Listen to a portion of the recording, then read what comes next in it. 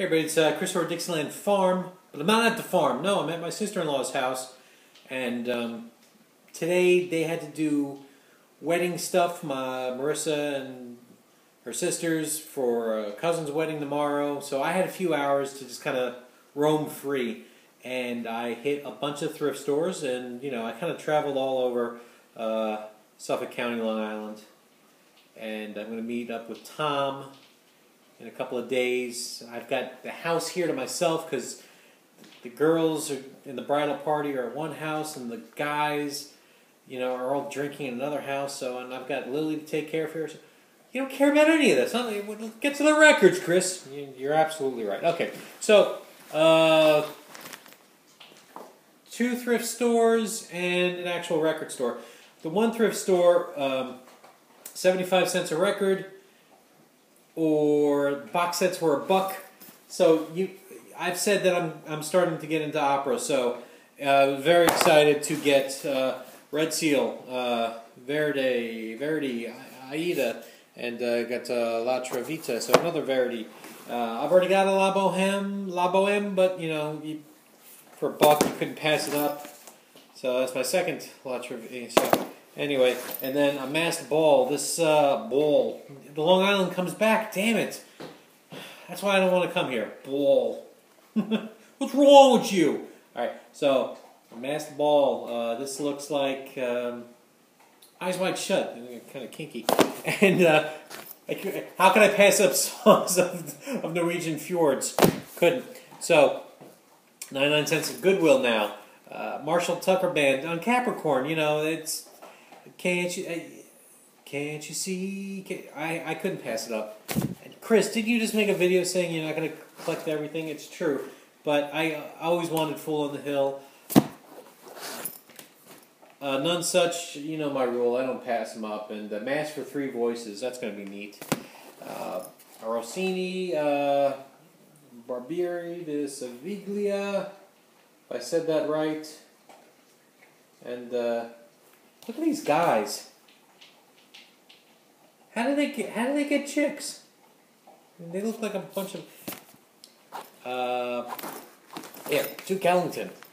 It's on six eye. It's not the original LP, but uh, jazz for that relaxed mood. Sweet. On the threshold of a dream. I've got all the Moody Blues on CD, and I, this isn't one of my favorite. Well, then again, I love Lovely to See You in Dear Diary and Send Me No Wine. That's an okay song. But, uh, you know, I, the CD certainly does not have this booklet. I don't remember anything like that with the sweet lyrics. Hells yeah.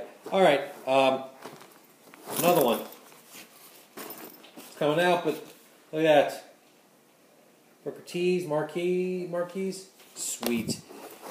Um, Dan, Dan Fogelberg uh, somebody said pick this up because Joe Walsh was all over it, so I did.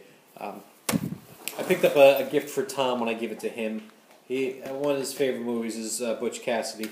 You know that about Tom? Aw, are you dating? Shut up. All right. Uh, then the actual record store in Babylon. Um, oh, wait a minute. One more. For children's, children's, children's. Another. It's, it's, it's a pretty good Moody Blues album, and the vinyl was beautiful. I couldn't leave it even if I ended up giving it away, you know, it was worth picking up. Okay, record store. Prices were insane. It was way too much. However, uh, Paul Revere and the Raiders for three bucks, more than fair. It's not doesn't have the book like it says. Uh, a couple of people him the flock. I don't know what it is, but look at that dude, right? This was seven bucks.